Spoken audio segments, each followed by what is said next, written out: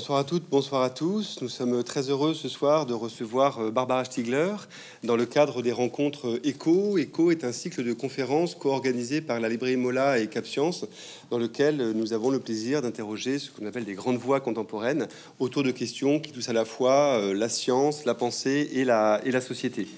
Alors Barbara Stigler, nous, vous accueillons. Euh, vous êtes, je pense, connu de bien des, lecteurs ici. Vous êtes professeur de philosophie politique à l'université euh, Bordeaux-Montaigne et puis vous avez aussi animé pendant de longues années le master soins éthiques euh, santé.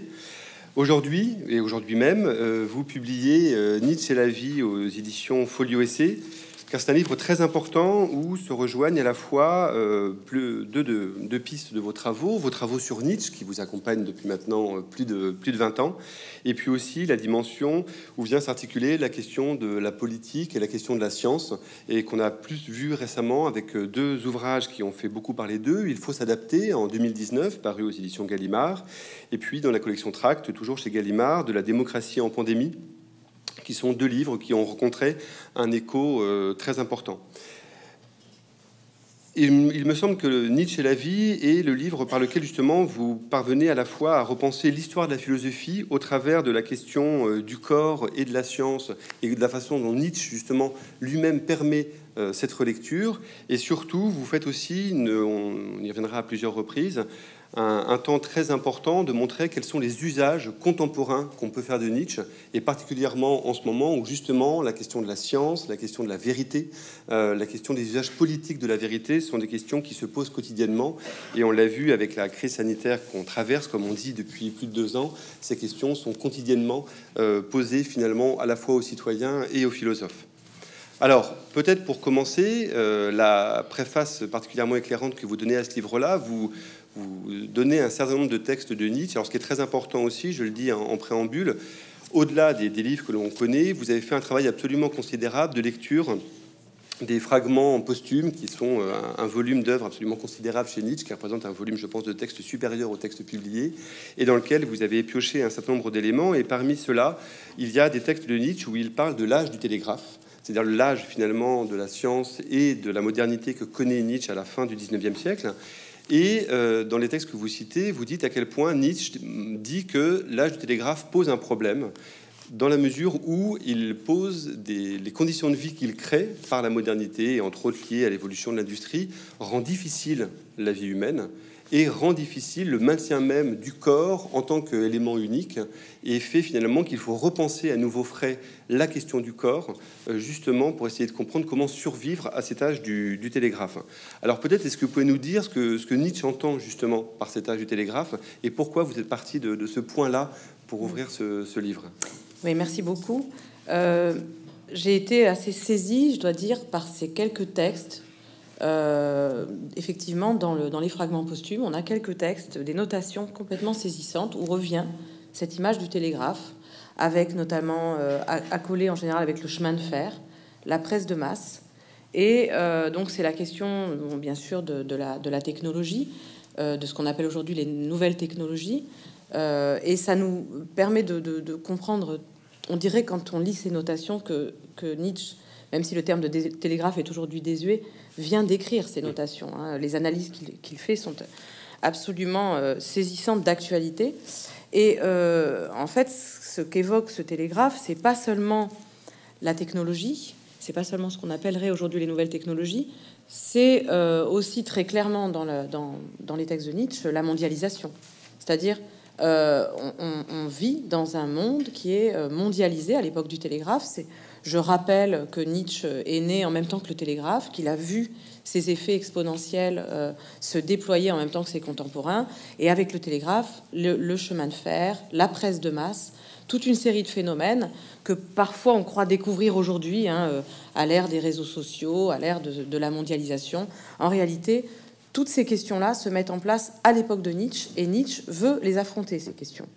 Et euh, je montre qu'il y a toute une méditation philosophique qui renvoie à ces euh, pensées euh, les plus hautes, comme par exemple la pensée de l'éternel retour, qui sont en relation à ce contexte historique euh, complètement inédit, donc d'une accélération de tous les rythmes de vie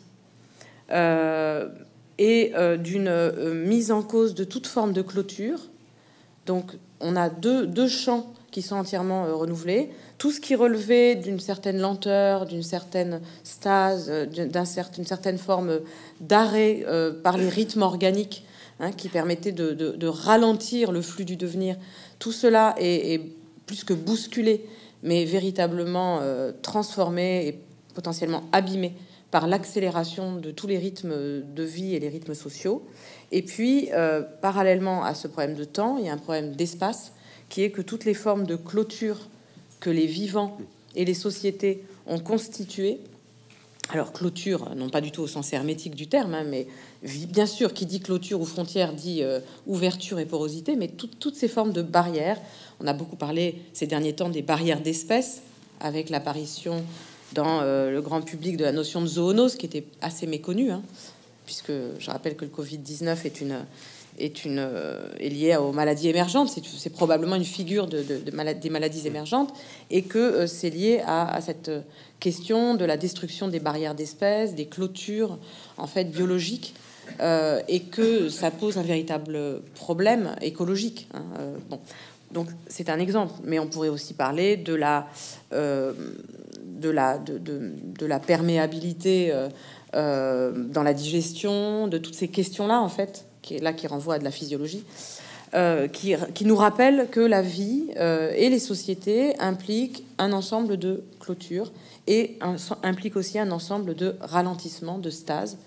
Et c'est précisément ces clôtures et ces stases qui volent en éclats, ou qui sont en tout cas extrêmement euh, menacées par l'âge du télégraphe. Et c'est à partir de, de, ça que, je, que Nietzsche euh, va se lancer sur une enquête extrêmement serrée sur les conditions de la vie et des vivants. Comment peut-on encore digérer à l'époque du télégraphe Comment peut-on encore faire corps et être un corps à l'époque du télégraphe? C'est ça la question.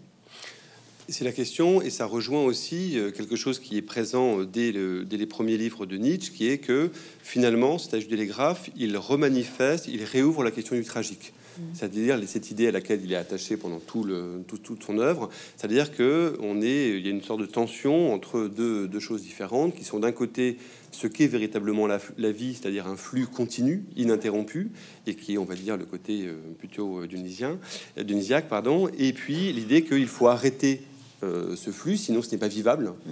Euh, c'est là ce que vous dites aussi dans la préface, c'est-à-dire qu'il y a un certain nombre, on, y reviendra, mais vous battez en brèche un certain nombre d'images stéréotypées autour de Nietzsche, Nietzsche entre autres comme philosophe du pur devenir, Nietzsche dit aussi qu'effectivement on ne peut pas vivre dans le pur devenir continuellement, il faut des arrêts. Et parmi effectivement, et ces arrêts-là, euh, c'est le côté plus apollinien par lequel effectivement il faut que les choses s'arrêtent. Et que finalement, ce que ce qu'il dit, ce que vous montrez vous aussi dans toute la première partie du livre, puisque le livre se compose finalement de trois moments, qui est un peu l'avant Nietzsche et qui est une sorte d'histoire de la métaphysique, qui est le moment proprement nietzschéen autour de la biologie, et puis les lectures qui sont faites de Nietzsche jusqu'à nos jours. Et ce que, ce que montre, ce que vous montrez euh, au travers Nietzsche, c'est que finalement, ce qu'il dit, c'est que la philosophie et la métaphysique telle qu'elle a été euh, mise en œuvre ne permet pas de survivre à l'époque qu'il rencontre et que dans laquelle nous sommes encore. Oui, alors euh, en fait, il y a deux, deux, problèmes qui se télescopent là. Il y a d'une part la fondation grecque de la métaphysique qui, pour Nietzsche, annule la question tragique, et ensuite, il y a ce que va faire la métaphysique moderne. Donc, ce sont deux questions euh, différentes. Pour ce qui est de, de la, pour ce qui est de la, première question, qui est effectivement dans l'introduction sur l'âge du télégraphe, on a, euh, Nietzsche nous dit, l'apparition du flux absolu. Il parle de flux. En allemand, c'est dur à traduire puisque l'allemand dit flux. Flux veut dire à la fois flux et fleuve. Évidemment, ça renvoie au corpus héraclitéen. Ça renvoie donc à euh, l'une des premières formes de philosophie, euh, avant, donc avant la métaphysique, avant Platon. Euh, et euh, Nietzsche se réfère toujours et se référera toujours jusqu'à la fin à Héraclite. comme un philosophe de référence, il est celui qui a vu le flux absolu du devenir. Et ce flux est absolu au sens où il est sans exception. Ce que fait la vie pour Nietzsche face à ce flux absolu, c'est fabriquer tout un ensemble d'artefacts et de fictions. N'importe quel vivant fait ça pour supporter ce flux absolu, donc en fabriquant ce que j'appelle moi je trouve que c'est un terme qui permet de rassembler beaucoup de notions nietzschéennes, des stases, flux stases. Euh, et donc, euh, on a euh, une polarité tragique pour Nietzsche entre le flux et la stase. Les deux sont nécessaires et contradictoires. avec effectivement Dionysos et Apollon, comme vous l'avez dit. ce qui s'est passé avec Platon et avec ensuite la métaphysique plus généralement, c'est une sorte de déni du flux au nom d'une immense stase qui est le monde de la permanence. Voilà, c'est ça qui s'est passé. Donc on a perdu euh, le flux, on l'a totalement dévalorisé, on l'a ravalé au rang de flux empirique, ce qu'on veut, mais on a toujours euh, construit cette espèce d'immense mensonge que la réalité ou la vérité, on a souvent confondu les deux, serait la stase. Euh, ça, c'est donc la longue histoire de la métaphysique. Et ce qui se passe avec l'âge du télégraphe et avec la révolution industrielle, enfin avec toute cette séquence de finalement l'entrée dans, dans, nos temps contemporains, c'est que ces stases, toutes ces figures de stase volent en éclats, et que, donc pas seulement les stases organiques, mais aussi les stases euh, métaphysiques, euh, réifiées, et, que euh, les contemporains se trouvent saisis face au flux absolu du devenir. Et il y a une inversion, on se met à survaloriser le flux. Chose qui m'a évidemment beaucoup intéressé ensuite, hein, quand j'ai rencontré une certaine généalogie du néolibéralisme qui m'a conduite à euh, à Walter Lippmann, qui est exactement dans cette posture-là, hein, qui inverse Platon, qui est platonicien, mais qui inverse Platon, puisque c'est le flux absolu contre euh, la stase, mais avec toujours une vision platonicienne de euh, l'élite, des meilleurs, etc. donc on voit bien comment on peut s'articuler dans cette lecture-là, mm. flux et adaptation. Oui, bien sûr. Bien sûr. Ben, on y reviendra mm. tout d'ailleurs, puisque c'est sur la fin où, enfin, quand on va croiser Darwin dans la suite du livre et et ensuite euh, Foucault et la, biologie contemporaine, on viendra à ces questions-là d'adaptation, d'adaptationnisme. Mais donc voilà, ça c'est un premier rapport à la métaphysique. Et, euh, et donc Nietzsche refuse l'inversion, c'est-à-dire le flux contre la stase. Effectivement, vous avez raison, on caricature Nietzsche quand on en fait un philosophe du devenir qui nous, qui nous appellerait tous à nous, à nous abîmer dans un devenir euh, absolu. non, ça c'est précisément ce qu'il reproche à Wagner, à sa musique qui a absolument rien compris de la nécessité des stases, des clôtures, des délimitations, etc., etc. Ces textes sont pourtant très bien connus de tous, donc, enfin, de tous les gens qui lisent Nietzsche. Mais bizarrement, on l'a caricaturé dans cette euh, posture de, la célébration romantique du flux et du chaos. Ce n'est euh, absolument pas juste. Alors, effectivement, la deuxième partie de votre question, c'était euh, pourquoi la philosophie moderne euh, manque en fait euh, ces conditions de la vie. Alors Nietzsche a un rapport. J'ai pas du tout parlé, le temps de parler de son rapport à Platon, qui est extrêmement compliqué parce qu'il a un rapport très intime à Platon. J'ai pas le temps de le dire, mais par contre, là, je voudrais quand même dire que euh, il a un rapport très intime à la philosophie moderne, c'est-à-dire qu'il a complètement incorporé la, philosophie moderne. il est complètement imprégné de Descartes, de Kant, euh, et d'un héritier de Descartes et Kant qui est Schopenhauer, bien sûr, hein, c'est celui qui l'a initié à la philosophie. Euh, notamment, ces trois noms-là sont absolument incontournables. On ne peut pas comprendre Nietzsche si on ne connaît pas euh, la fondation cartésienne de la modernité, la, reprise critique par Kant et la synthèse très étrange que Schopenhauer essaie d'en faire.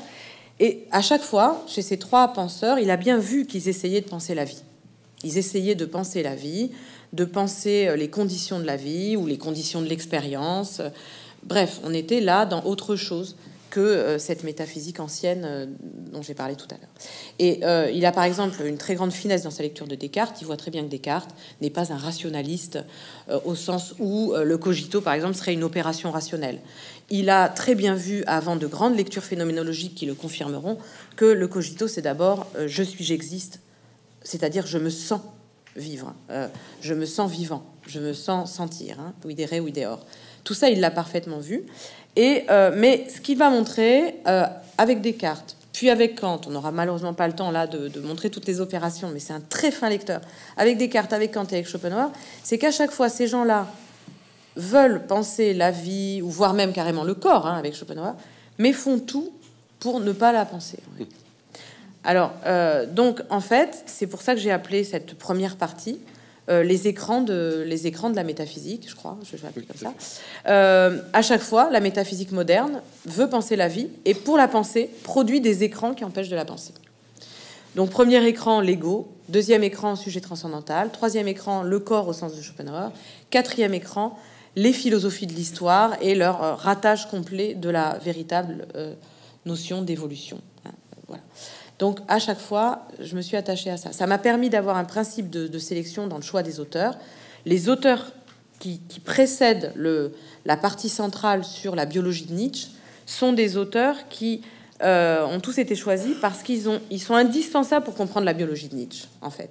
Nietzsche, quand il fait sa biologie, quand il va sur le terrain biologique, passe son temps à discuter avec Descartes, Kant, Schopenhauer, etc. Donc voilà. Et il fallait faire cette première partie, à vrai dire, pour, pour rendre intelligible pour le lecteur. Et j'ai essayé de le faire pour un lecteur qui n'a jamais lu de philosophie. Euh, j'ai essayé presque de faire un manuel de philosophie avec Nietzsche, de, philosophie moderne en tout cas. Ça peut paraître étrange, mais en fait, c'est un excellent introducteur à, la philosophie, Nietzsche. Oui, on y reviendra, puisque c'est essentiellement, enfin, c'est un, un, immense lecteur. Mm. Et la question de la lecture, de la philologie, qu'est-ce que c'est qu'une lecture honnête, même de gens avec qui on n'est pas d'accord, mm. c'est un enjeu décisif. On y reviendra à la fin sur la question de la vérité et de la réalité. Mais justement, euh, puisque euh, ces philosophes-là ne permettent pas d'aller au bout de la compréhension de ce qu'est la vie, Nietzsche, justement, c'est la deuxième partie de votre livre, se tourne vers la biologie et vers la biologie de son temps.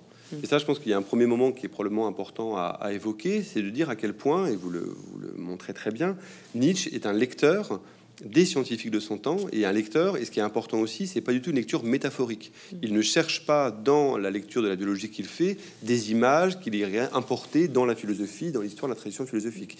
Il cherche à comprendre comment spécifiquement la science en tant que science et la biologie en tant que science de son temps, là aussi presque en tant que science de, de l'époque du télégraphe, permet de comprendre réellement ce qu'est la vie. Oui, absolument. Et ça, c'est un aspect de la philosophie Nietzsche qui est très peu connu, bizarrement. En fait, dans l'introduction, je, je, campe un portrait de Nietzsche comme l'un des premiers philosophes de la crise écologique et sanitaire. Euh, ça, je le pense profondément. Euh, ça peut paraître euh, un peu étonnant, mais j'y crois vraiment. Je, pense qu'il n'y a, a, aucun doute là-dessus. En réalité, c'est pas le premier philosophe de la crise écologique et sanitaire, puisqu'en fait, on pourrait, on connaît beaucoup mieux d'autres philosophes, notamment américains, qui ont fait le diagnostic d'une crise écologique, de la crise écologique au sens qu'on l'entend, gravissime au 19e siècle, des ravages de la société industrielle, et qui ont euh, essayé de développer une pensée écologique. Tout le monde connaît ces auteurs, bien sûr. Mais la spécificité de Nietzsche et leur grande différence par rapport à eux, c'est qu'il est allé, lui, non pas sur le terrain de la nature, il n'a pas, développé une pensée de la nature antithétique de la modernité industrielle, il a, pour essayer de penser, de répondre aux enjeux de cette crise écologique et sanitaire, qui commence effectivement à son époque, il a décidé d'aller donc s'occuper de biologie et de médecine. Et ça, c'est assez extraordinaire comme, geste. Et donc, il est entré dans l'arène, parce que la science est une arène, dans laquelle il y a des rapports de force.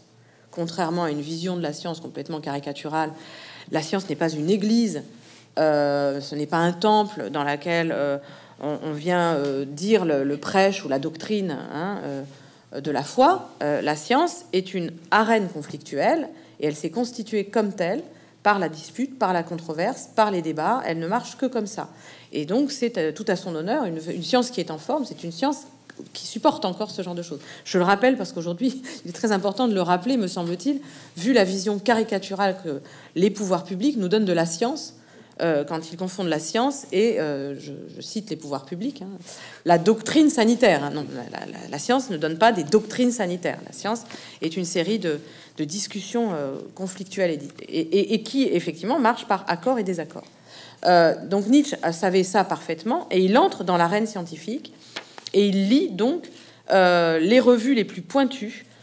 et c'est extrêmement impressionnant parce qu'il couvre à la fois le champ de la physiologie, il faut savoir que la physiologie euh, euh, allemande à l'époque est l'une des physiologies.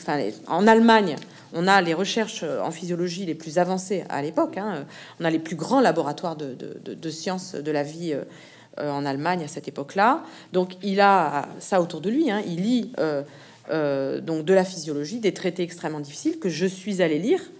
Euh, en, caractère gothique. Bon, bref, c'est quand même euh, un bel effort. Un bel effort, on va dire, voilà.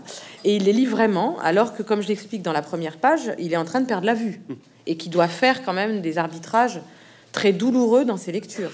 Mais il est quand même capable de lire des traités de 500 pages sur la régénération osseuse, euh, etc. Il le fait. il le fait avec une extrême attention et, toutes, si vous voulez, tous ses sens spéculatifs sont en éveil et il voit parfaitement ce qui se passe. Il comprend énormément de choses. ça, c'est pour la physiologie. Il fait la même chose pour la théorie de l'évolution, qui est en plein essor, puisque je rappelle que l'origine des espèces sort en 1859. Lui commence son travail en, biologie au début des années 70, donc il y a un essor absolument considérable de euh, la théorie de l'évolution. Et là, pareil, il lit les articles les plus, les plus compliqués et euh, il euh, travaille aussi sur les questions médicales. Mais surtout, sur la, il réfléchit beaucoup sur la médecine. En plus, c'est un malade. Il est lui-même patient, il est malade, et c'est ce qu'on appellerait aujourd'hui un malade chronique. C'est un polymalade chronique. Donc, il a tout un ensemble de pathologies chroniques euh, auquel il essaie de faire face comme n'importe quel malade chronique. Donc on a euh, euh, trois champs quand même très compliqués qu'il essaie d'affronter. Et quand on sait ça, ben, on comprend ce qui se passe dans ces textes, non seulement publiés, mais fragments posthumes, effectivement. il, accomplit toute une série d'opérations épistémologiques, en fait, majeures, que j'ai essayé de restituer ici. Sachant que l'opération première et probablement la plus importante, c'est la question du corps. Et c'est la question du corps avec le, travail de Nietzsche qui est de restaurer le corps comme élément euh, actif, c'est-à-dire sortir de l'image, elle pour le coup qui a une très très longue tradition aussi, du corps comme étant une sorte de patte passive récupérant des affections de l'extérieur. Et ce qu'il dit dans le même mouvement, c'est à la fois effectivement on est pris dans un flux, mais c'est pas parce qu'on est pris dans un flux qu'on est uniquement dans un rapport passif à l'ensemble des, phénomènes du monde. Et justement, ce que nous apprend euh, la physiologie, ce que nous apprend la biologie, et ce que lui réussit à réarticuler philosophiquement, c'est l'idée que il faut penser le corps comme un élément actif et comme étant le lieu d'un certain nombre de mouvements euh, positifs au sens où euh, ils agissent et ils recomposent en permanence. ils se recomposent en permanence pour créer effectivement la vie et du réel. Oui, absolument. Alors, il y a tout un travail chez Nietzsche sur euh, la critique de la désarticulation entre le pôle activité et passivité, qu'on voit très bien dans la métaphysique. Hein. Vous avez d'un côté un sujet l'ego hyperactif, constituant, et puis de l'autre le corps renvoyé à la passivité, la sensibilité, par exemple chez Schopenhauer, hein, qui n'est plus que passivité. Bon, mais là, j'ai pas, c'est moins de ça dont, je souhaiterais parler que effectivement de la manière dont il retrouve cette euh, cette euh, désarticulation dans le champ des sciences de la vie. En fait, vous avez dans le champ des sciences de la vie euh, quelque chose qui, dysfonctionne, puisque euh, on présente le vivant du côté des évolutionnistes comme finalement une pâte malléable qui n'a qu'à s'adapter et qui serait soumise aux lois du milieu, aux lois de l'environnement, aux lois de la nature, finalement. donc, il y a toute une tendance du darwinisme à son époque, et c'est encore vrai aujourd'hui, qui, euh, qui transforme le vivant en un matériau passif soumis à des lois ou soumis aux pressions du milieu. Et c'est le fameux adaptationnisme que Nietzsche sera l'un des premiers à critiquer d'une manière euh, extrêmement importante. Comme vous le savez, ensuite, cette critique de l'adaptationnisme, je la retrouverai chez Dewey contre Lippmann d'ailleurs. Je la retrouverai ensuite avec euh, des biologistes contemporains, hein, des, évolutionnistes contemporains. Donc c'est vraiment un point très important. Et puis parallèlement, de manière complètement euh, contradictoire et incohérente, au fond, le vivant est présenté comme, euh, du côté de la physiologie, comme ayant une spontanéité, une activité. certains parlent d'agentivité aujourd'hui, laissons de côté ce terme qui, qui va certainement pas, mais voilà, donc enfin, il y a quelque chose qui n'est pas pensé et articulé. On a la même chose dans, la philosophie. Donc Là, euh, il essaie de montrer qu'en réalité, il faut regarder, il faut aller chercher la scène commune où s'articulent passivité et activité. Et là, on voit à quel point il est imprégné de Kant. Il est totalement kantien, Nietzsche. Non pas qu'il soit d'accord avec lui, mais dans, dans ses manières de penser, toutes les, les, grands concepts, les grands gestes philosophiques de Kant sont incorporés par sa pensée. Et là, évidemment, sans Kant, on ne comprend pas comment il aurait pu faire ça. La scène commune où s'articule la passivité du corps vivant et son activité, c'est au fond l'imagination, euh, dit, Kant. En fait, c'est la mémoire, dit Nietzsche. C'est la mémoire. La, mémoire, la vie, c'est la mémoire, dit-il. Et la mémoire, c'est le fait d'être en permanence affecté passivement et en permanence réorganiser activement ce qui nous affecte. Et c'est comme ça que se constituent des corps vivants et qu'ils s'individuent, se différencient les, les, uns des autres. Donc voilà ce genre d'opération qu'il fait. Donc là, il se sert de la biologie pour euh, critiquer ou remanier, euh, par exemple, la critique de la raison pure, et en même temps, il se sert de la critique de la raison pure pour critiquer la biologie. Donc, il joue la philosophie contre la biologie et la biologie contre la philosophie sans arrêt. C'est ça qui est très important, parce que là aussi, euh, c'est aussi l'une des images stéréotypées sur Nietzsche, qui est Nietzsche, philosophe de l'oubli. Euh, de, on trouve un certain nombre de fragments, effectivement, dans lequel il semble louer l'oubli. Et ce sur quoi vous insistez à partir de textes de Nietzsche lui-même, c'est montrer à quel point la mémoire est absolument décisive chez lui. Et la mémoire, elle vient s'articuler aussi, ce que vous avez évoqué au tout début de votre intervention, sur la question de la digestion, sur la question du métabolisme, qui est le, principal acquis qu'il retient de ses lectures. C'est l'idée que c'est la capacité à intégrer en soi de l'étranger, mm. de, de, l'accueillir pour nous-mêmes mm. et d'en faire quelque chose pour se constituer nous-mêmes en tant qu'individu.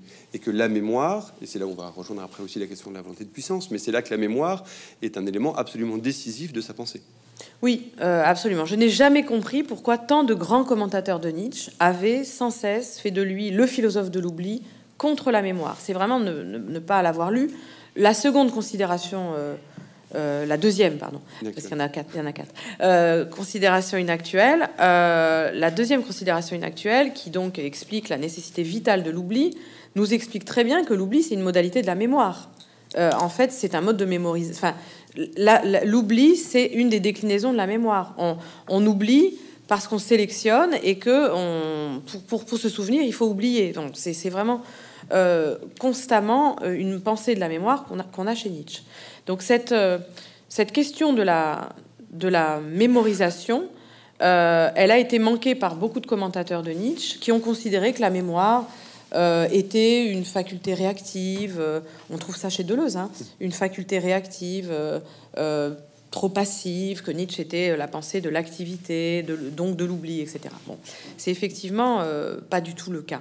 Et la mémoire, en réalité, a un, magnifique synonyme dans un, ce que moi je considère être un concept que Nietzsche a forgé, qui est l'incorporation. Euh, c'est comme ça qu'on peut traduire le mieux l'allemand de Nietzsche, Einverleibung, l'incorporation. Pour lui, la vie, c'est l'incorporation. C'est le fait, il n'y a pas d'être vivant qui ne soit pas capable d'incorporer, et les êtres non vivants ne peuvent pas incorporer. Donc, qui dit vie dit incorporation, c'est-à-dire mémoire. C'est donc, comme vous l'avez très bien dit, le fait de pouvoir faire entrer à l'intérieur de soi ce qui n'est pas soi, qui vient nécessairement troubler mon organisation interne, il y a cette phase, bon, il, reprend ça à la théorie cellulaire, il y a une phase de dérangement, de trouble inquiétante qui est forcément toujours là dans le simple fait d'incorporer et qui implique une réorganisation constante de l'organisme. Pour lui, la nutrition, c'est euh, euh, une manière de l'incorporation. Enfin, et donc la nutrition est une forme de mémoire. Alors évidemment, aujourd'hui, avec toutes les maladies chroniques autour de la nutrition, du métabolisme, tout ça, euh, toutes les réflexions autour du microbiote que le grand public connaît bien, connaît bien maintenant cette notion du microbiote, tout ça retentit évidemment euh, immédiatement. Hein. C'est exactement de cela dont il parle. Et, est-ce que pour vous, je fais juste un aparté, mais est-ce que ça intervient aussi comme métaphore de politique sur l'intégration du corps social? Est-ce que justement cette question de euh, l'intégration à, l'étranger et de, l'incorporation et de, fait de par la mémoire devenir autre par une intégration extérieure? Évidemment. Est-ce que euh, parce que chez Nietzsche, tous les, niveaux, le niveau de, de, l'organisme, le niveau du, du, corps, euh, alors le micro-organisme, euh, qui l'intéresse énormément parce qu'à l'époque, les, biologistes se passionnent pour euh, les premières formes de vie, hein, puisqu'ils veulent savoir ce qu'est la vie, donc ils se passionnent très logiquement pour les premières formes de vie, et donc il y a énormément de textes de Nietzsche sur les micro-organismes. Ensuite, les, corps organisés complexes, euh, ce qu'on appelle les, les, Enfin, non, je vais pas reprendre ce terme parce qu'il est, il est faux en fait. Mais voilà, tout ce qui, dès qu'on a un corps qui est, complexe, hein, ça nous permet de dire que le corps est toujours pluriel en réalité. Il n'y a pas d'unité première. C'est d'ailleurs un des premiers euh, désaccords avec Descartes. Hein. Donc cette pluralité euh, intrinsèque du micro-organisme, du, du corps euh, complexe et immédiatement pour Nietzsche quelque chose qui nous aide à penser les corps sociaux hmm. et les enjeux culturels. Donc il n'y a pas chez Nietzsche d'un côté ce qui relèverait de la société, de la politique, de la morale, etc., qui serait un certain monde, un certain champ, et puis de l'autre, séparé de ce monde, le monde de la vie, qui serait celui de la nature. Cette partition qu'on a chez Kant, hein, déjà, Nietzsche la conteste. Et il va ouvrir, et c'est pour ça que je dis que c'est une nouvelle histoire de la philosophie, hein, il va ouvrir avec cette question de euh, affronter le gouvernement de la vie et des vivants avec la biologie et en pensant euh, les sociétés, il va ouvrir tout un champ, une philosophie euh, nouvelle qui va s'épanouir à la fin du 19e siècle, au début du 20e siècle, et qui va être brutalement arrêté par le traumatisme intellectuel causé par la Seconde Guerre mondiale. À l'issue de la Seconde Guerre mondiale, va apparaître l'idée que toute, toute, référence au biologique dans le champ du politique et au, politique dans le champ du biologique est nécessairement une transgression grave d'une frontière qu'on ne peut pas franchir. Et donc, on va avoir le soupçon de biologisme face à toutes ces philosophies du 19e et 20e siècle, jugées trop vitalistes, trop biologistes, etc., qu'on va finalement euh, renvoyer à une sorte d'obsolescence. Ce qui explique d'ailleurs pourquoi on s'est très peu intéressé pendant si longtemps à la biologie de Nietzsche. C'était euh, une espèce de vieillerie embarrassante, hein, parce que justement, il faisait des allers-retours entre la société, la vie, etc. Ce qui est très intéressant, c'est qu'aujourd'hui, on est immergé dans des questions, euh, pour employer un terme euh, forgé par Foucault, biopolitique. Et donc, en fait, on ne peut plus mettre d'un côté la politique et de l'autre la vie. On ne peut plus dire, il y a d'un côté le champ de la décision publique, et puis de l'autre, il y a la vie des virus vient de le voir, hein, c'est pas possible. En réalité, si on veut affronter politiquement la question du gouvernement de la vie et des vivants, les questions écologiques et sanitaires, on est bien obligé de se demander comment fonctionnent les virus et comment ils traversent les corps sociaux. Donc, c'est euh, cette, euh, cette séparation, ce, ce tabou euh, dont on a hérité par la Seconde Guerre mondiale, et on comprend très bien pourquoi. Hein, je, le, je, le, je veux dire, je, trouve ça complètement normal que ce tabou se soit imposé. il faut le surmonter néanmoins parce qu'en réalité, ça nous paralyse pour penser les rapports, les passages du biologique au politique et du politique au biologique. Sachant que ce que vous avez, vous avez donné son nom, euh, justement, paradoxalement, euh, Foucault, penseur du biopolitique, aussi euh, connu en tant que lecteur de Nietzsche, vous faites une sorte de, démontage, si l'on veut, de sa lecture de, sa lecture de Nietzsche, où vous montrez que il débiologise Nietzsche. C'est-à-dire que finalement, il évacue euh, le côté véritablement scientifique, soit il le traite comme métaphore, soit il considère que c'est pas euh, c'est pas le plus important, et mm. qu'il y a une sorte de paradoxe, et même jusqu'à un certain point, on pourrait dire qu'il le dépolitise. On y viendra à la fin avec la question mm. de la vérité, mais euh, mais là, effectivement, il y a une sorte de grand malentendu sur la lecture par Michel Foucault de, l'œuvre de Nietzsche. Absolument. De la même manière, d'ailleurs, qu'il avait débiologisé l'histoire du néolibéralisme, mm. comme je l'avais expliqué dans Il faut s'adapter. Euh, il n'a pas du tout vu le euh, lien avec euh, entre le néolibéralisme et l'évolutionnisme, hein, la théorie de l'évolution. Tout ça, il l'a pas vu, alors même qu'il a, il a, il a lu une partie, en tout cas, de l'œuvre de Lippmann, il ne l'a pas vu. c'est extrêmement étonnant et en même temps c'est pas étonnant parce qu'il est héritier de ce, tabou. Mmh. Hein. Pour lui, il y a d'un côté il y a l'histoire, les sociétés, etc. Et de l'autre, il y a le biologique. Et en fait, ce faisant, il abandonne le biologique. Alors c'est très clair dans des textes euh, des années 70, euh, il abandonne le biologique aux visions les plus réductionnistes de la biologie moléculaire. Hein. Oui. En fait. Et il va même... Euh, on peut pas trop lui reprocher parce que les années 70 sont très marquées par ça, mais il va... Il n'aura aucun, aucune arme pour critiquer, par exemple, le génocentrisme, qui aujourd'hui est critiqué par les gens qui ont une, une épistémologie fine des sciences de la vie. Voilà, il est, il est complètement, voilà, il y a deux champs. Il y a le champ euh, euh, de la politique euh, et de la biopolitique, puis il y a le champ de la biologie qui est à part. Mais on voit bien que c'est pas possible. Pour penser la, biopolitique, il faut entrer dans l'arène qu'est la biologie. Il y a des décisions fondamentales à prendre en fait sur comment on appréhende une maladie, que, quelles sont les causes, quelle est l'étiologie d'une pathologie, quelle thérapeutique on va adopter. On voit bien qu'il y a un entrelac absolument euh, incontournable entre le biologique et le politique. Donc effectivement, c'est un penseur de la biopolitique qui, quelque part, ne nous donne pas les moyens d'affronter les questions internes à la biologie. Euh, ce que, je parle de Foucault, oui, bien sûr. ce faisant, donc, il ne voit pas, effectivement, que bah, tout cet aspect biologique hein, du, de la pensée nietzschéenne, du corps, de la vie, de la maladie, etc. Parce qu'il ne pense pas, le, paradoxalement, la nature du discours de la science. Parce que c'est aussi la complexité du rapport aussi en une partie de la France sur la philosophie et la science en tant que véritablement lecture de science comme l'était Nietzsche, c'est-à-dire lire les articles scientifiques, comprendre comment fonctionne la science. Et ce que vous dites quand il, euh, il, prend pour acquis le discours euh, sur les gènes comme une sorte de programmation finalement, c'est qu'il ne s'intéresse pas au fonctionnement euh, discursif de la science et que finalement du coup il ne se permet pas, et c'est là où on arrive effectivement le un peu à la conclusion aussi de, votre livre, il ne se permet pas de comprendre comment fonctionne le mécanisme du discours scientifique, où il refuse d'y pénétrer. Il Alors, prend en surplomb. Il est en surplomb, voilà. c'est ce que j'allais vous dire. Bien sûr qu'il ça le passionne, puisque euh, les mots et les choses, etc. Donc c'est un excellent connaisseur. il y a un effet de surplomb par rapport connaisseur à la des, de la Voilà, excellent connaisseur des sciences de la vie. Il décrit tout ça, mais du, depuis une autre position. Depuis une autre position. Et donc à la fin, dans les années 80, il invoquera ce terme de vérité mais ça n'aura nécessairement aucun rapport avec la science. Hein. C'est la désimplication de la connaissance et de la vérité. Euh, il y a la vérité. moi, je peine encore à, vraiment, véritablement comprendre ce qu'il entend par vérité. Euh, et puis, il y a euh, le régime de, la science, de ses disciplines, avec sa police. Mais enfin, c'est quand même un dualisme difficilement tenable.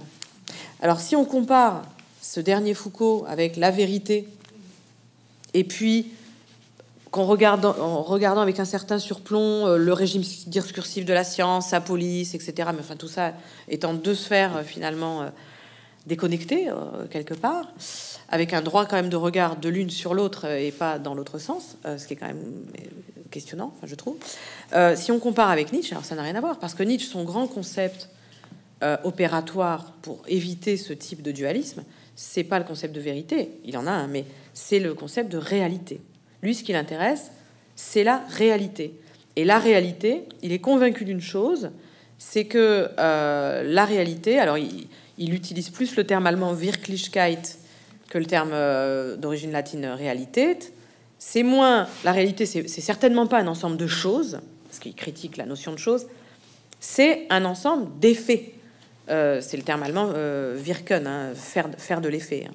C'est un ensemble d'effets euh, pluriels, multiples, imprédictibles, mais en même temps, mais en même temps avec des, des, des, des cohérences temporelles. Hein. Ça ne veut pas dire que c'est pas le chaos. Hein. C'est un chaos qui s'organise.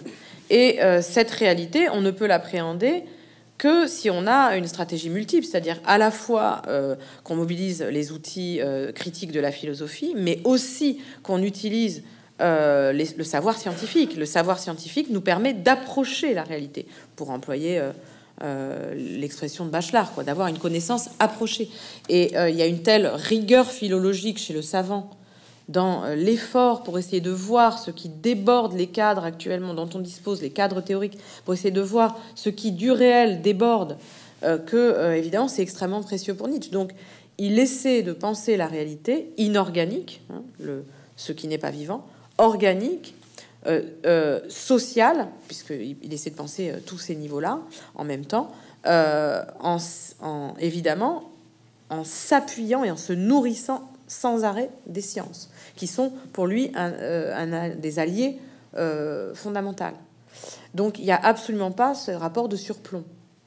et si on peut parler de vérité, peut-être le seul sens que ça a chez Nietzsche, la vérité, c'est, il lui donne le nom de ce dieu grec, Dionysos, c'est le flux absolu qui comprend toutes les perspectives multiples, donc euh, apolliniennes, hein, euh, dans ce grand même flux. Mais euh, comme tel, c'est invivable, inconnaissable et insupportable. Donc on ne peut que approcher ce grand ensemble de la vérité qui est impossible à incorporer. On ne peut que euh, approcher du réel dans ce grand tout. Voyez Donc, il n'y a pas du tout une vérité qui serait en surplomb par rapport à euh, un régime policier des, disciplines. C'est vraiment très, très. Et cette extériorité sauvage dont parle Foucault, hein, euh, avec cette culture des marges, etc. Il pense être au plus près de Nietzsche, et je comprends pourquoi, parce que Nietzsche a développé tout un discours complètement aporétique sur l'exception. Mais euh, c'est finalement, euh, c'est un Nietzsche poignant d'ailleurs, ce Nietzsche-là. Mais c'est un Nietzsche qui est dans une aporie. Le Nietzsche je pense qu'il faut peut-être y insister un petit peu, c'est-à-dire que Ce que, ce que, vous dites, vous l'avez évoqué, c'est qu'il développe ce qu'il appelle une sorte de médecine de la culture. Mhm. Donc il essaie d'envisager, à partir de la connaissance de, de la philosophie qu'il établit autour de la question de la vie, d'essayer de voir qu'est-ce qu'on doit, vers quoi on doit tendre justement pour que la société puisse supporter le temps qui est le sien, etc. Mm. Et là, ce que vous montrez très bien, et c'est effectivement assez, euh, assez déchirant, c'est qu'il est pris entre deux hypothèses, et l'une d'elles, qui est plutôt celle qui a été retenue d'ailleurs souvent à, contre lui, c'est l'idée qu'il faut des gens exceptionnels ou des exceptions qui, eux, sont capables de supporter euh, ce flux permanent, qui sont capables d'accueillir le différent de se laisser blesser, de se laisser euh, modifier, et que finalement c'est vraiment une logique complètement antidémocratique puisque c'est la logique de l'exception. Il a aussi une autre pensée par ailleurs qui elle est entre guillemets plus plus démocratique, mais que finalement il, il se retrouve pris entre ces deux tendances-là et que il, il, ne, il, ne, trouve pas de solution par rapport à, ce, à cette question-là. C'est-à-dire qu'il ne, une fois qu'il a établi le diagnostic, qu'il a trouvé l'outil par la biologie et par, la, et par sa, sa, conception de la vie de, de penser le, le, réel, il n'a pas l'attention, la solution entre guillemets politique Hmm. de sa philosophie. Oui, en fait, il esquisse une voie euh, sociale et politique euh, qui n'a pas les moyens de, de, de finalement de, de, suivre en réalité, euh, pour différentes raisons très difficiles à expliquer, mais en gros.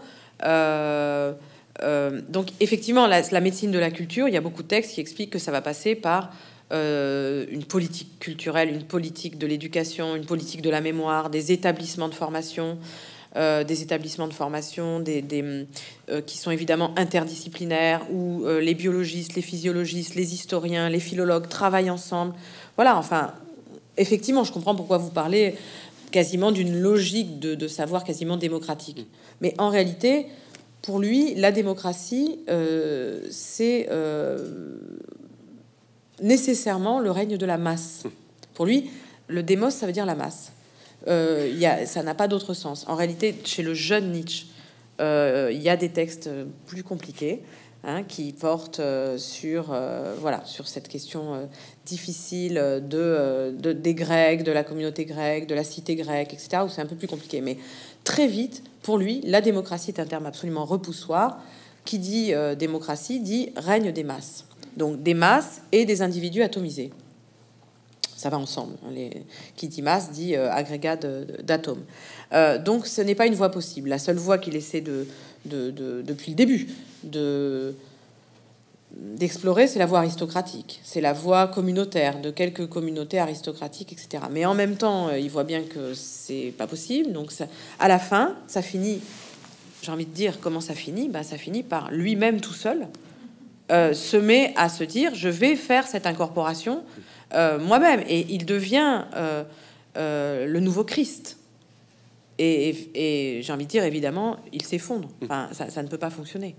Donc il y a un échec politique perpétuel qui est, qui, est, complexe à expliquer et qui tient largement au fait que pour lui la démocratie c'est l'ère industrielle des masses. Alors justement le, ce qui, nous amène à la, conclusion de votre livre que vous avez commencé à esquisser quand on a parlé de Foucault, euh, c'est de la question, de savoir où est-ce que nous en sommes aujourd'hui avec la vérité.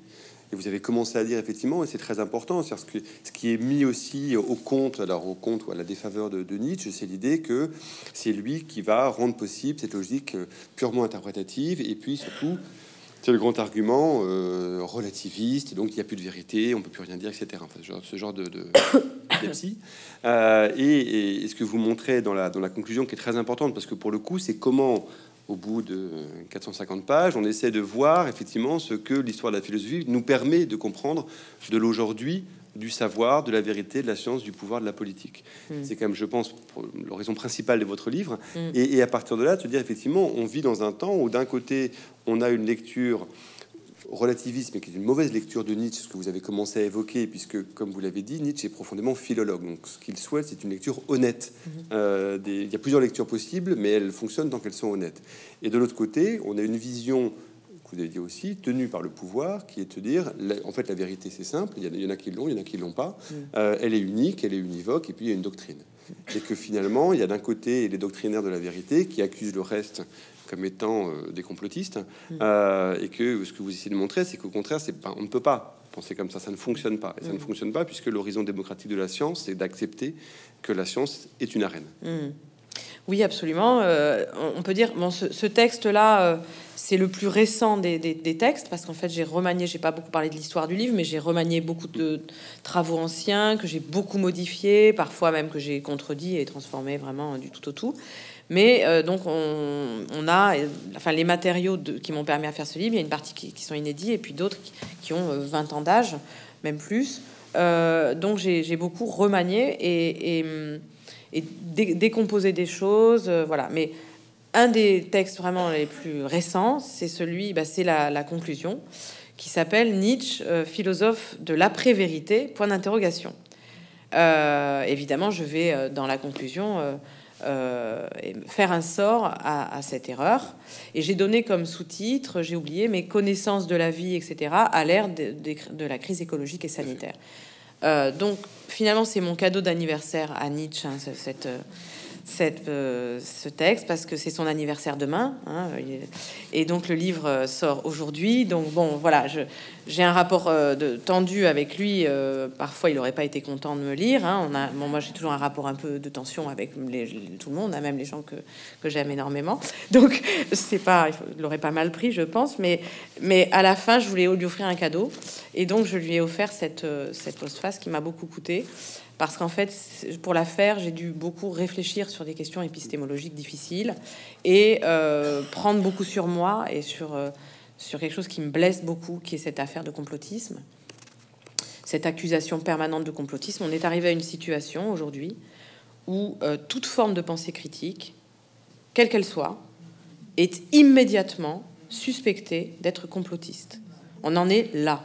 Et ce virus, loin d'avoir préparé un monde d'après, comme ça, spontanément, par la seule grâce du virus, comme si euh, une entité euh, biologique pouvait euh, changer le monde hein, et faire la révolution, quelle naïveté, ce virus a surtout durci cette accusation en complotisme qui évidemment préexistait. Je travaille en milieu hospitalier et j'entends cette accusation de complotisme en permanence dans les congrès de médecine. On parle sans arrêt des nouveaux patients qui sont euh, quand même euh, très problématiques parce qu'ils vont sans cesse sur Internet, ils sont dans des euh, visions complotistes des médicaments, de, la médecine, etc. Moi, ça fait depuis que je travaille avec, le, milieu hospitalier que j'entends ça. Jusqu'à présent, c'était un, un, certain régime de discours un peu professionnel. et là, il y a eu la rencontre entre l'accusation de populisme qui saturait notre espace public depuis 20 ans et euh, au moment donc où les peuples ont commencé à... Les peuples, hein, si ça existe, j'utilise ce terme parce que bon, c'est ce que ça veut dire le populisme. Les peuples euh, ont commencé à rejeter euh, en Europe les grandes lignes de la politique européenne, dans d'autres continents, un gouvernement néolibéral, etc. Et à partir de là, on a parlé de populisme. Euh, on avait ça, on avait un discours professionnel qui nous parlait de complotisme beaucoup dans le milieu scientifique. Alors deux milieux, la crise écologique euh, avec euh, l'Amérique de Trump, avec les, les, les climato-sceptiques, et puis dans le milieu médical, cette idée que le patient qui va regarder sur Internet est toujours au bord de la dérive sectaire. et puis bon, les contestations sur les vaccins certaines étant d'ailleurs parfaitement légitimes depuis euh, des années. Hein. il y a de, longues histoires, d'autres parfaitement fantaisistes, mais peu importe. Et là, aujourd'hui, avec le virus, euh, ben, le populisme euh, a été relayé par l'immense complotisme. Et avec cette idée que les, pensées critiques, les, philosophes qui sont héritiers d'une certaine philosophie critique, hein. Par exemple, euh, effectivement, prenons la lignée euh, Nietzsche-Foucault, à peine au hasard, hein, sont forcément euh, des complotistes. pourquoi? Ben, La preuve, pour eux, il n'y a pas de fait, il n'y a que des interprétations. alors, il n'y a pas de fait, il n'y a que des interprétations, c'est une formule qu'on prête toujours à Nietzsche que, qui n'est pas dans le texte tel quel, mais qui est tout à fait fidèle à, beaucoup de textes de Nietzsche. Fait, effectivement, il dit il n'y a pas de fait, il n'y a que d'interprétation. Donc j'ai voulu, dans cette postface, expliquer cette phrase il n'y a pas de fait, il n'y a que des interprétations.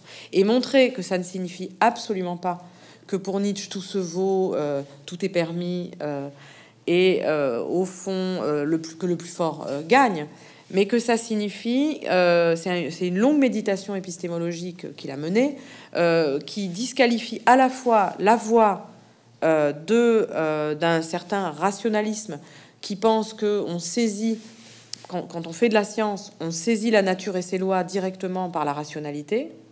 Et euh, il montre que ça peut pas fonctionner comme ça. D'abord parce qu'il conteste l'idée d'une nature soumise à des lois, et il conteste l'idée que ce soit la rationalité qui a un accès direct à. Ça ne peut pas se passer comme ça parce que c'est des affaires justement de flux, d'évolution, de transformation de nos catégories, etc. Toute une discussion avec Kant.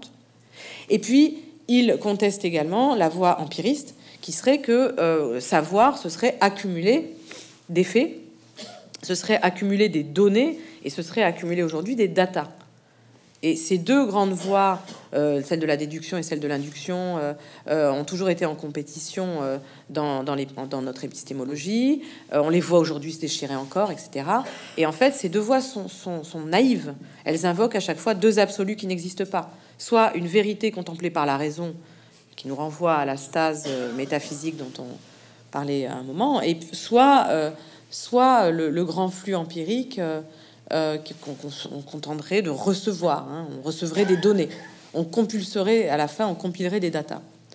Euh, et donc, il montre que le, travail.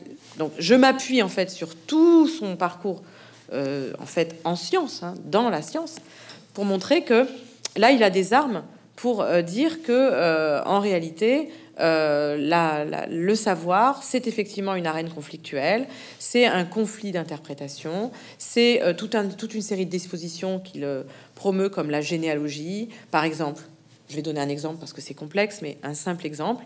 Quand on a un problème de santé, bah, avoir une approche généalogique, c'est comprendre qu'en fait ce problème de santé s'inscrit dans une histoire, que cette historicité suppose toutes sortes de lignes génétiques et généalogiques qui sont en conflit, qu'il y a donc il y aura jamais une cause, mais il y aura toujours une multiplicité de causes, qu'on va entrer dans un champ de force, qu'il va falloir serrer les forces et les faiblesses, s'appuyer ensuite pour la thérapeutique sur telle ou telle dynamique. Et donc, on ne peut pas avoir une approche biomédicale, réductionniste, euh, simpliste, du genre, si on a un problème, c'est parce qu'il y a tel agent pathogène qu'il va falloir éradiquer. Voyez? Et c'est précisément ce type euh, de, simplification extrêmement grossière que euh, nous avons subi et nous subissons encore depuis un an et demi. Hein. les, discours sur pour affronter une crise sanitaire, on va éradiquer le virus, ou alors quand on ne peut pas éradiquer le virus, on va éradiquer les penchants, les, le relâchement des populations, ou bien on va éradiquer euh, les, les ennemis de l'intérieur que seraient les, les, complotistes. Enfin, Bon, voilà. C'est une pour Nietzsche cette manière de raisonner. Il appelle ça, euh, pour lui, ça s'appelle, euh, c'est ce qu'il appelle la logique du ressentiment. C'est-à-dire, dans le devenir, dans le flux du devenir, euh, il y a du négatif, il y a de la maladie, il y a des problèmes, il y a de la souffrance, il y a des, sans arrêt des choses qui relèvent du négatif. Et notre grammaire et notre métaphysique et l'histoire de notre morale ont été structurées pour la manière dont nous parlons pour trouver à chaque fois le coupable, hein, le sujet coupable que on va abattre euh, et qu'on va euh, éradiquer, et ensuite l'avenir sera radieux. Et il montre très bien que notre grammaire est faite comme ça. Donc nous avons tous, en fait, une manière de penser, on hérite de cette manière de penser. Si on a des problèmes, il faut trouver le sujet, le coupable, l'isoler, l'abattre, l'éradiquer. En médecine, c'est extrêmement puissant. Hein. On, le trouve ça dans le génocentrisme. Hein. Toutes nos maladies viendraient de, gènes déviants, de mutations déviantes.